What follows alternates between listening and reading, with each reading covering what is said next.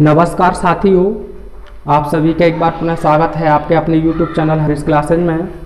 आज के वीडियो में हम यूपी बोर्ड क्लास टेंथ में जो फ़ोटो प्रिंट्स विदाउट फीट में आपका सिक्स चैप्टर दिया है the making of a scientist इस लेसन के एक एक शब्द के हिंदी अर्थ का अध्ययन करेंगे।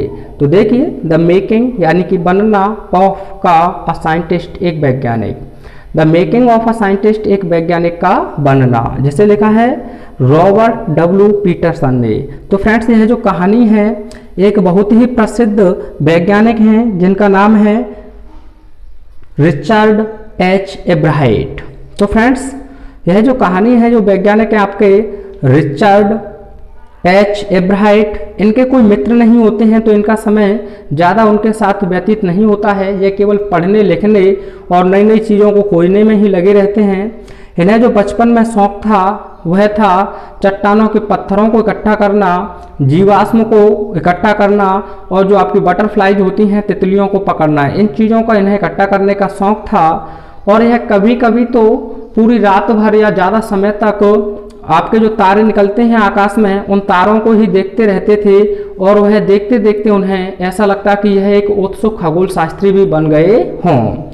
तो इन्होंने आपके कई पुरस्कार भी प्राप्त किए हैं, जिनमें आपका है शेरिंग प्लट पुरस्कार वायु केमिस्ट्री और मॉलिक्यूलर बायोलॉजी इन पुरस्कारों को उन्होंने भी प्राप्त किया है। तो फ्रेंड्स बिना समय को वेस्ट किए हुए हम इसके हिंदी अर्थ का अध्ययन करते हैं। तो फ्रेंड्स वीडियो पसंद आए तो लाइक शेयर सब्सक्राइब करना ना भूलें और अपनी राय देना कमेंट के माध्यम से भी ना भूलें। तो फ्रेंड्स आपके चैप्टर की स्टार्टिंग यहाँ से होती है। एट द एज एज माने होता है उम्र या अवस्था। एट द एज उम्र में या अवस्था में ऑफ़ 22 बाईस वर्ष की। एट द एज ऑफ़ 22 बाईस वर्ष की उम्र में या 22 वर्ष की अवस्था में अ फॉर्मर एक भूतपूर्व या पूर्ववर्ती स्काउट सर्वश्रेष्ठ स्वयं सेवक स्काउट माने होता है सर्वश्रेष्ठ स्वयं सेवक ऑफ़ द ईयर वर्ष के। ऑफ़ मतलब के। तो पहले इतना समझते हैं। At the age of 22 a former scout of the year 22 वर्ष की अवस्था में एक भूतपूर्व या पूर्ववर्ती वर्ष के सर्वश्रेष्ठ स्वयंसेवक ने एक्साइटेड उत्तेजित कर दिया या आश्चर्यचकित कर दिया द साइंटिफिक इस विज्ञान साइंटिफिक माने विज्ञान वर्ल्ड माने संसार, अर्थात जगत को। एक्साइटेड द साइंटिफिक वर्ल्ड इस वैज्ञानिक, यानी इस विज्ञान जगत को आश्चर्यचकित कर दिया, या फिर आप कह सकते हैं उत्तेजित कर दिया। विद मतलब के साथ अ न्यू थ्योरी एक नए सिद्धांत। न्यू माने नया सिद्धांत थ्योरी माने सिद्धांत। तो पहले इतना समझते हैं, उसके बाद आगे देखेंगे। At the age of 22 a former scout of the year excited the scientific world with a new theory बाईस वर्ष की अवस्था में एक भूतपूर्व या एक पूर्ववर्ती वर्ष के सर्वश्रेष्ठ स्वयंसेवक ने एक नए सिद्धांत के साथ इस विज्ञान जगत को आश्चर्यचकित या उत्तेजित कर दिया। अब थ्योरी क्या थी फ्रेंड्स ऑन हाउ कि कैसे सेल्स कोशिकाएँ वर्क कार्य करती हैं। हाउ सेल्स वर्क की कोशिकाएँ कैसे कार्य करती हैं, यह थ्योरी थी। तो पूरा आप इस प्रकार से कह सकते हैं कि 22 वर्ष की अवस्था में एक भूतपूर्व या पूर्ववर्ती वर्ष के सर्वश्रेष्ठ स्वयंसेवक ने एक नए सिद्धांत के साथ इस विज्ञान जगत को आश्चर्यचकित या उत्तेजित कर दिया था कि कोशिकाएँ कैसे कार्य करती हैं। आई होप क्लियर हुआ होगा। तो देखिए रिचर्ड एच एब्राइट यानी कि रिचर्ड एच एब्राइट एंड और हिज कॉलेज रूममेट यानी कि उनके सहपाठी। Richard H Ebright and his college roommate यानी कि रिचर्ड एच एब्राइट और उनके कक्षा के जो सहपाठी थे एक्सप्लेंड उल्लेख किए या व्याख्या किए या वर्णन किए द थ्योरी इस थ्योरी का अर्थात इस सिद्धांत का। कौन सा सिद्धांत का? कि कोशिकाएँ कैसे कार्य करती हैं। तो देखिए, Richard H. Ebright and his college roommate explained the theory यानी कि रिचर्ड एच. एब्राइट और उनके सहपाठी ने इस सिद्धांत का वर्णन किया या उल्लेख किया। इन एन आर्टिकल, इन मतलब में एन आर्टिकल, एक पत्रिका। आर्टिकल माने लेख कह सकते हैं। तो एक लेख में, इन द प्रोसीडिंग्स प्रोसीडिंग्स माने होता है कार्यवाही ऑफ़ द, ऑफ़ मतलब कि द नेशनल राष्ट्रीय अकेडमी, अकादमी ऑफ़ साइंस विज्ञान की। तो यहाँ से देखते हैं पहले, in an article in the proceedings of the national academy of science, यानी विज्ञान की राष्ट्रीय अकादमी की कार्यवाहियों में एक लेख में इस सिद्धांत का उल्लेख किया। तो पूरा समझना H Bright and his college roommate explain the theory in an article in the proceedings of the national academy of science वैज्ञानिक रिचर्ड एच ब्राइट और उनके सहपाठी ने विज्ञान की राष्ट्रीय अकादमी की कार्यवाहियों में एक लेख में इस सिद्धांत का वर्णन किया या उल्लेख किया। किस उल्लेख का? कि कोशिकाएँ कैसे कार्य करती हैं। तो आगे देखिए। इट यह वॉज़ माने था द फ़र्स्ट टाइम पहली बार फ़र्स्ट टाइम पहली बार। It was the first time यह पहली बार था। दिस माने इस इंपोर्टेंट महत्वपूर्ण साइंटिफिक विज्ञान जर्नल माने पत्रिका।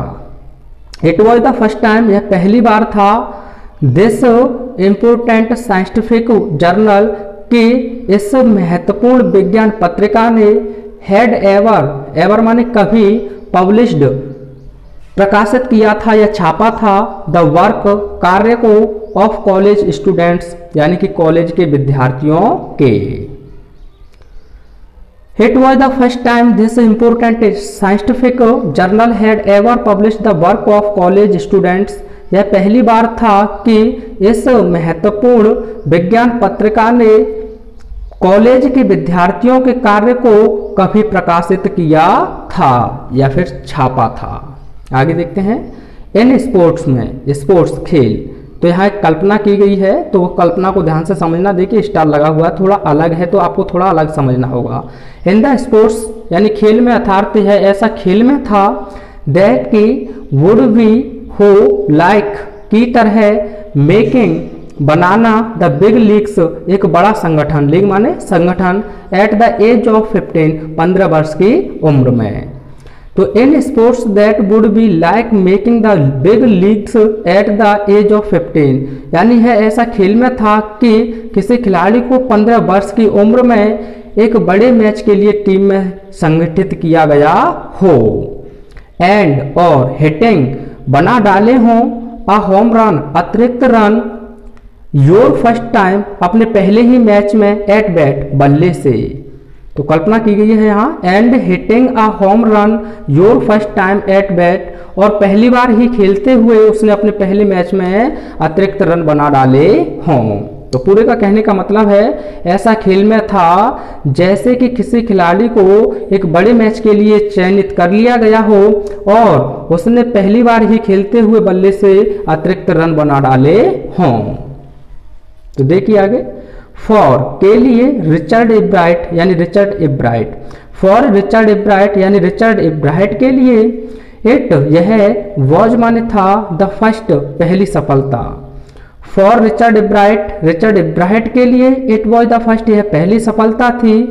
इन अ लॉन्ग एक लंबी स्ट्रिंग स्ट्रिंग माने आप कह सकते हैं श्रृंखला ऑफ़ अचीवमेंट्स यानी कि उपलब्धियों की ऑफ़ माने की। तो it was the first in a long string of achievements यानी कि रिचर्ड इब्राहिट के लिए यह उपलब्धियों की एक बड़ी श्रृंखला में पहली सफलता थी।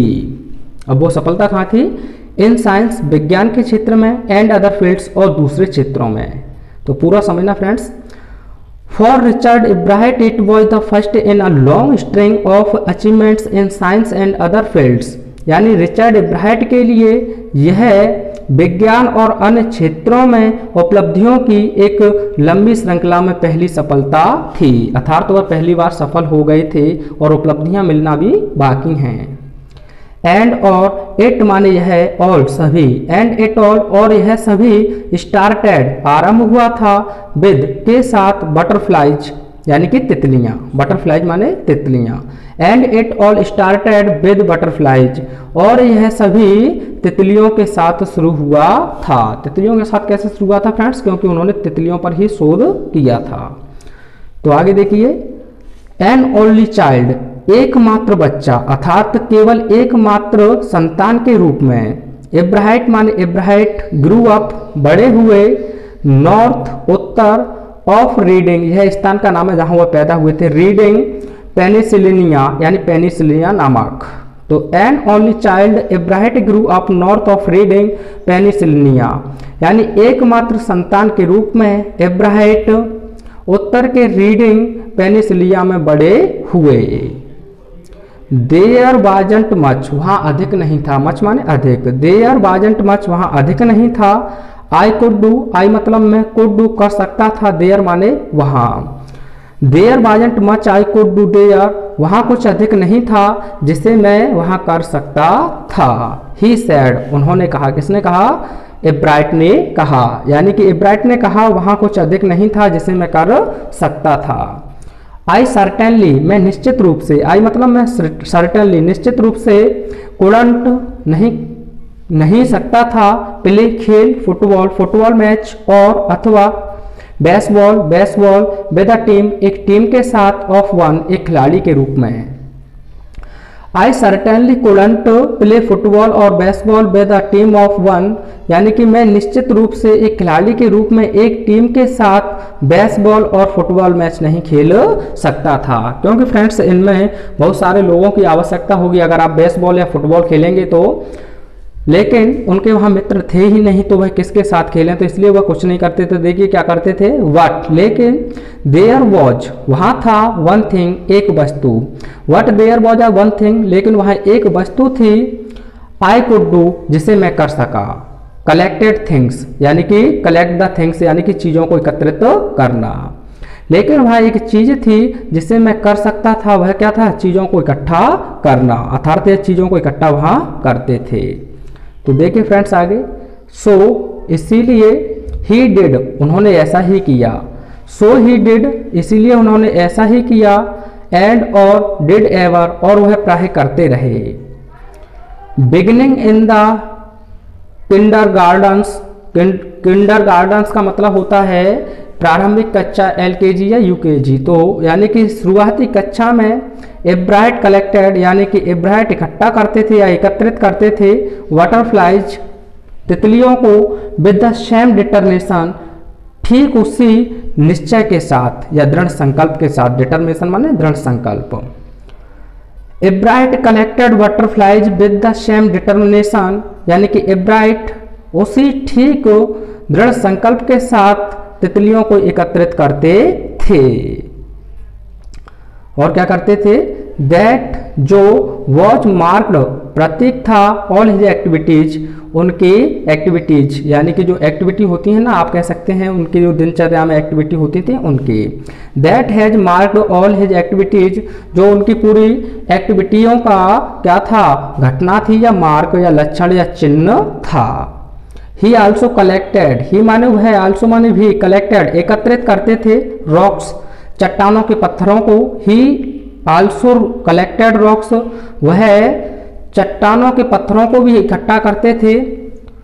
फॉसल्स यानी कि जीवा जीव, जीवाश्म जो होते हैं, जीवाश्म को इकट्ठा करते थे एंड कॉइन्स और सिक्कों को इकट्ठा करते थे। He also collected rocks fossils and coins वह चट्टानों के पत्थर, जीवाश्म और सिक्कों को भी इकट्ठा करते थे। ही विकैम वह बन जाते थे। एन ईगार, एक उत्सव को एस्ट्रोनोमर खगोल शास्त्री टू माने भी।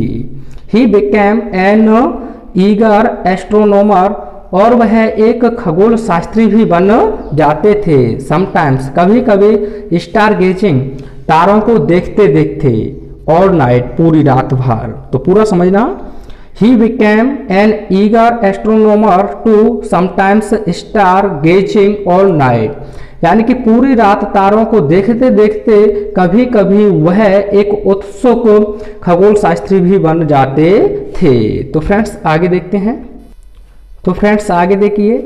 फ्रॉम द फ़र्स्ट पहली कक्षा से। फ्रॉम द फ़र्स्ट पहली कक्षा से ही हैड ही माने उन्हें हैड माने था अ ड्राइविंग कार चलाने का या वाहन चलाने का क्यूरसिटी जिज्ञासा। क्यूरसिटी माने जिज्ञासा अलोंग विद के साथ अ ब्राइट एक कुशाग्र ब्राइट माने कुशाग्र माइंड माने दिमाग या मस्तिष्क, या बुद्धि भी कह सकते हैं, या कुशाग्र बुद्धि। फ्रॉम द फ़र्स्ट क्लास यानी कि पहली कक्षा से ही had a driving curiosity along with a bright mind यानी पहली कक्षा से ही उन्हें कुशाग्र बुद्धि के साथ वाहन चलाने की जिज्ञासा भी थी। ही आल्सो हैड ही मतलब उनकी आल्सो माने भी हैड मतलब थी अ मदर एक माँ पोजिशन के लिए है। तो he also had a mother उनकी एक माँ भी थी हु एनकरेज हु माने जो एनकरेज प्रोत्साहित करती थी हिज इंटरेस्ट उनकी रुचि को इन लर्निंग सीखने में इन लर्निंग सीखने में। He also had a mother उनकी एक माँ भी थी who encourage his interest in learning जो सीखने में उनकी रुचि में, यानी कि उनकी रुचि में सीखने में उनका प्रोत्साहन भी करते थी। तो एक बार फिर से कह देते हैं कि यानी कि वह यथार्थ जो आपके आपके जो वैज्ञानिक हैं रिचर्ड इब्राहिम, यानी कि उनकी एक माँ भी थी जो सीखने में उनकी रुचि को प्रोत्साहित करती थी। सी टोको सी मानव है, टोको ले जाती थी हिम मतलब उन्हें ऑन ट्रिप्स यात्राओं पर। ट्रिप्स माने यात्राएँ। She took him on trips यानी कि वह उन्हें यात्राओं पर भी ले जाती थी। बॉट हेम उनके लिए खरीदती थी। बॉट हेम उनके लिए खरीदती थी। टेलीस्कोप्स दूरबीन टेलीस्कोप्स दूरबीन माइक्रोस्कोप्स यानी सूक्ष्मदर्शी कैमराज, यानी कि कैमराज। माउंटेन मटेरियल्स और पर्वतरोही सामान या पदार्थ। तो पहले इतना समझते हैं। She took him on trips bought him telescopes microscopes cameras mounting materials यानी कि वह उन्हें यात्राओं पर ले जाती थी। उनके लिए दूरबीन, सूक्ष्मदर्शी कैमरा और पर्वतरोही पदार्थ या सामान भी खरीदती थी। एंड और अदर इक्विपमेंट और दूसरे इक्विपमेंट यानी कि औज़ार। एंड और हेल्प मदद करती थी, हिम मतलब उनकी इन मैनी अदर वेज अन्य तरीकों से। And other equipment and he and help him in many other ways और उनके लिए और अधिक भी सामान खरीदती थी, और उनकी कई तरह से भी मदद करती थी। I was his only companion I मतलब मैं, अर्थात उनकी माँ कहती हैं वॉज़ मानी थी हिज ओनली उसकी एकमात्र कंपेनियन साथी। I was his only companion मैं उसकी एकमात्र साथी थी। अनटिल जब तक ही स्टार्टेड स्कूल उसने विद्यालय जाना प्रारंभ नहीं किया। I was his only companion until he started school यानी जब तक उसने विद्यालय जाना प्रारंभ नहीं किया, तब तक मैं उसकी केवल एकमात्र साथी थी। क्योंकि फ्रेंड्स, आपका अनटिल नेगेटिव सेंस देता है तो इसलिए यहाँ नेगेटिव अर्थ लिया है। हिज मदर सैड, उसकी माँ ने कहा। यानी उनकी माँ ने कहा कि जब तक वह विद्यालय जाना शुरू नहीं किया, तब तक मैं उसकी केवल एकमात्र साथी थी। आफ्टर दैट उसके बाद आफ्टर दैट उसके बाद I would bring home I मतलब मैं वुड ब्रिंग लाती होम माने घर फ्रेंड्स माने मित्र फॉर हिम उसके लिए। After that I would bring home friends for him उसके बाद मैं उसके लिए मित्रों को घर लाती थी। बट लेकिन एट नाइट रात्रि में बट एट नाइट लेकिन रात्रि में वी जस्ट डेड हम लोग केवल क्या करते थे? थिंग्स चीज़ों को अर्थात कार्यों को टूगेदर एक साथ टूगेदर एक साथ। But at night we just did things together लेकिन रात्रि में हम लोग एक साथ उन कार्यों को किया करते थे। रिची यानी रिची ये उनका शॉर्ट में नाम है रिचर्ड इब्राहिट का। तो Richie was my whole life Richie माने रिची वॉच माने था माई होल लाइफ मेरा संपूर्ण लाइफ माने जीवन। रिची मेरा संपूर्ण जीवन था आफ्टर हिज फादर डाइड उसकी पिता की मृत्यु के बाद। Richie was my whole life after his father died यानी उसके पिता के मरने के बाद रिची ही मेरा संपूर्ण जीवन बन गया था। वैन जाओ, रिची यानी रिची, वॉज़ माने था इन थर्ड ग्रेड, तीसरी कक्षा में। वह Richie was in third grade, जब रिची थर्ड कक्षा में था, सी यानी वह एंड हर सन और उनका पुत्र स्पेंट, खर्च करता था ऑलमोस्ट लगभग एवरी इवनिंग प्रत्येक रात वो इस इवनिंग शाम को एट द डाइनिंग रूम यानी कि जो भोजन करने का कमरा होता है, टेबल माने मेज पर। She and her son spent almost every evening at the dining room table वह और उनका पुत्र प्रत्येक शाम को लगभग भोजन कक्ष की मेज पर ही खर्च करते थे, यथार्थ व्यतीत करते थे। इफ़ यदि he didn't have things to do if यदि ही डिडेंट हैव उसके पास नहीं होती थी थिंग्स चीज़ें या कार्य टू डू करने के लिए if he didn't have things to do यदि उसके पास करने के लिए वस्तुएँ नहीं होती थी अर्थात उसके पास करने के लिए कार्य नहीं होता था। आई फाउंड मैं ढूंढती थी अर्थात उनकी माँ ढूंढती थी वर्क कार्य फॉर हिम उसके लिए। I found work for him मैं उसके लिए कार्य ढूंढती थी। नॉट जो कार्य होता था वो नॉट ना केवल फ़िज़िकल वर्क यानी शारीरिक कार्य नहीं होता था। नॉट फ़िज़िकल वर्क वह शारीरिक कार्य नहीं होता था। बट बल्कि लर्निंग थिंग्स यानी कि याद करने वाली यथार्थ मस्तिष्क का कार्य होता था। Not physical work but learning things वह न केवल शारीरिक कार्य होता था, बल्कि मस्तिष्क का कार्य होता था।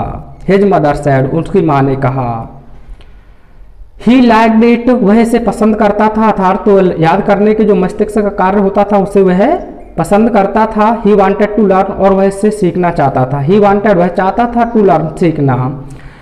ही वांटेड टू लर्न वह इसे सीखना भी चाहता था। एंड लर्न और सीखना, सीखा ही डेड भी। एंड लर्न ही डेड और उसने सीखा भी। इम्फेटिक सेंटेंस है। एंड लर्न ही डेड और उसने सीखा भी। ही अर्नड ही मानो वह earned top grades in school यानी कि उसने विद्यालय में टॉप ग्रेड को हासिल किया। ऑन एवरी डे प्रत्येक दिन थिंग्स चीज़ें he was just like every other kid kid मान होता है बच्चा या बालक। यानी कि ऑन एवरी डे प्रत्येक चीज़, दिन थिंग्स चीज़ों को ही वॉज़ जस्ट वह केवल ठीक लाइक की तरह था एवरी अदर किड दूसरे बच्चों की तरह। अर्थात वह दूसरे बच्चों की तरह ही रोज के कार्य को करता था। हिज मदर सैड उसकी माँ ने कहा। बाय द टाइम यानी इस समय तक he was in second grade वह दूसरी कक्षा में था। By the time he was in the second grade यानी कि इस समय तक वह दूसरी कक्षा में था Ebright had collected all twenty five Ebright माने एब्राइट हैड कलेक्टेड इकट्ठी कर चुका था और ट्वेंटी सभी ट्वेंटी फाइव पच्चीस प्रकार की स्पाइसेस जातियों वाली और बटरफ्लाइज तितलियों को फाउंड जो पाए जाने वाली थी अराउंड के आसपास हिज होम टाउन उसके कस्बे के।